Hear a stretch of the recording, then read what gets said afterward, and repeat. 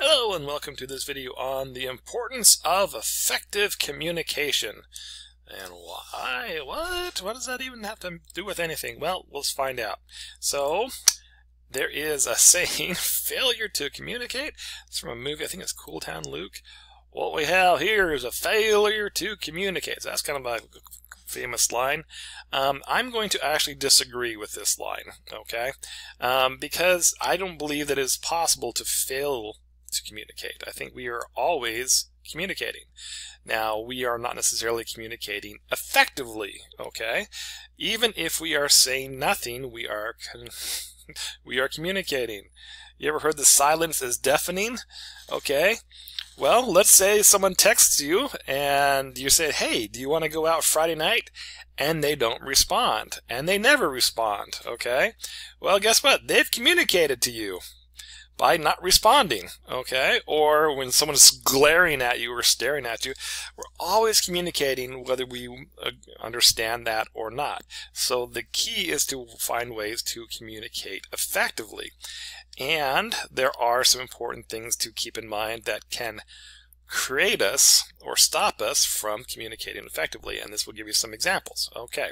So when I teach introduction English classes. So incoming freshmen um, at the school where I teach, and um, so they, they come in the first day of class, and you know they've never met me, they don't know me from anybody, and I introduce myself, and this is how I generally introduce myself.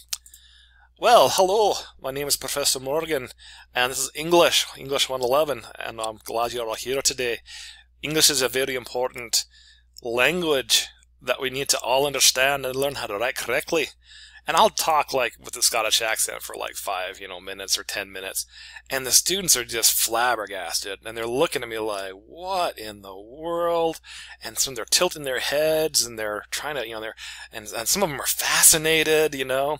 And eventually I'll say, okay, look, that's not really me. That's not my accent. It's not the way that I speak. And I'll tell them something during this introduction and I'll say, okay, now I gave you an introduction. I told you something important. What did I tell you? Write it down. And most students can't because they were too focused on how I was speaking that they weren't listening to what I was saying. Okay. Um, and so that's the, the little example that I give is that sometimes we're so distracted by how things are said that we're not getting what is being said. Okay. And here's another story. Sometimes we are trying to communicate and we don't do so very effectively. Um, and it may be a fault of our own. It may be just that we're not understanding our audience could mean any number of things. So, this actually happened. This actually almost got me in trouble. So back in the day, um, when I was first, you know, when I was growing up, I worked at a grocery store. Um, okay. And there was uh, a young lady that I worked with. I worked, you know, I used to stock the shelves, and this lady, uh, she was, you know, about my age. You know, we were like, you know, in our late teens, early 20s. Anyway, so um, she was very nice, and she was always just happy and singing wherever she went. As she walked around the store, she was always just kind of singing, not not too distracting, but just whatever. So, you know, and one day I said, "Wow, you really are a wandering minstrel, aren't you?" You know, and she looked at me, and she kind of gave me this this glare, and I'm and I'm like, okay, and I don't and whatever, and I'm thinking, okay. So then she disappears, and a few minutes later, I you know hear. Jason Morgan, please come to the office. And I'm like, okay, okay. So I go to the office, and there's the the boss, and he says, um, you know, this we have a problem here. And I said, well, what's the problem? And uh, there's you know there's a you know so and so this young lady has basically say you sexually harassed her. I said, I said, I did what? and And he said, look, you know, you have to be very careful what you say, you know, especially during certain times of the month. And I'm like, oh, I don't understand. What is going on? He said, you can't even hint that someone's on their menstrual cycle. And I'm like, no, no, no. I said minstrel, wandering minstrel, like someone who goes from town to town and sings songs. So she's walking around the store singing. And I called her a wandering minstrel. And the boss looks at me like, what is that? What does that even mean? I'm like, oh my gosh. So I had to apologize and tell her, but she thought I said wandering minstrel. Um, and it got me to the point where I was, you know, again, apparently wasn't communicating effectively. That was unfortunate. Okay, and again, I've learned my lesson. Okay, I just need to make sure that I know my audience before I try to be clever with them. Okay, moving on. So sometimes the challenge when it comes to communicating is when we are doing it via writing. Okay, so emails especially can sometimes be interpreted different ways. Sometimes I'll get an email and it'll feel like I'm this person here and someone's screaming at me by the way that it is written. It may be my mood at the time. It may be I just am in a bad mood and as I'm reading it, I'm misinterpreting it.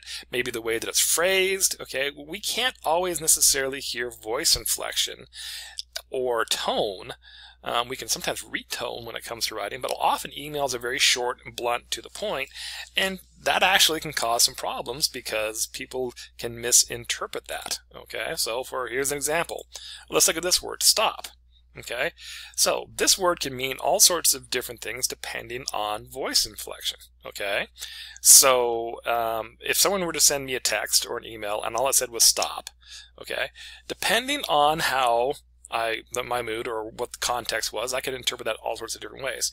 Now compare that to voice inflection. Okay, so if I were to say stop, okay, now that's okay. That that, that has a certain meaning. Okay, or if I were to someone were to say stop, okay, well that's like okay, well that has a different meaning. Or someone would say stop, stop, okay, same word, three different meanings the ways it can be communicated based on how it's said. So that's something that we need to be aware of. And it's interesting how our technology and our world around us is trying to cope with this problem of communicating via text because they are using emojis. Okay? Honestly, emojis, if you think about it, I mean, as writers, we're kind of like cringing sometimes when we see emojis, and it's not very considered professional. But emojis, basically, you write a sentence and you include a little emoji after it. That's saying, hey, I mean this to be funny, or I mean this to be sad, or I mean this to be like, ah.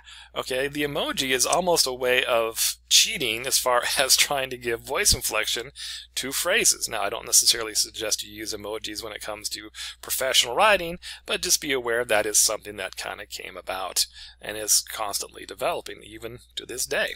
All right, now let's talk about audio awareness. So remember that whenever we present information, we have to be aware of our audience. We need to make sure that whatever we're, message we're trying to get across isn't prevented by um, the, you know, by us misunderstanding our audience, okay? And so I have a perfect example of this. Okay, so uh, recently at my full time job, I was asked to put together a bulletin board um, that basically highlighted what can you do with a degree in English because not only am I a creative writing teacher, but I create, I'm in charge of the English program at the school which I teach. Well, the bulletin board, okay, um, so I had decided I I found a nice, um, you know, flyer that kind of gave some list of things you can do with a degree in English. And then I decided for the bulletin board to put up pictures, um, kind of representing these different things, like an author, you, you know, you can go into law, law, law, you become a lawyer, um, social media, you can be a librarian. Um, but I had to be very careful when I created this bulletin board. And the reason being is that I teach full time at an HBCU. HBCU, for those of you who are not familiar with it, is an historically black college or university. Probably about 98% of the students um, identify as being black or African American. Okay? So, when it came to put the bulletin board together, I made sure that the pictures that I put up on the board actually had people who identified as black or African American. Because it could actually be distracting. Where, you know, it's like, look, these are the things you can do. Well, they're, yeah, if you're white, you could do that. Now, that may seem strange, okay? But in the environment at which I teach, these are the kind of things I have to know my audience and I have to make sure that I am communicating and putting in information which is actually going to get the message across without being distracting. Okay? Now, some people are very close minded and say, no, you just have to accept the way that I tell you things. Well, not really, especially if you're going to be working with people and trying to persuade people, you need to kind of speak to their language. So, as a final thought, remember that often the meaning behind the words can get lost or misunderstood because of how they are communicated. So it's very important as we think about giving feedback to someone, as we're trying to work with somebody, or even as we're trying to understand somebody, you know, sometimes restating what someone said to us so we make sure that we understand. Um, and, you know, to be able to get that point across. So, so there's some thoughts about communication. Uh, hopefully that kind of you know, got you to think and maybe, just maybe, it'll help you communicate more effectively.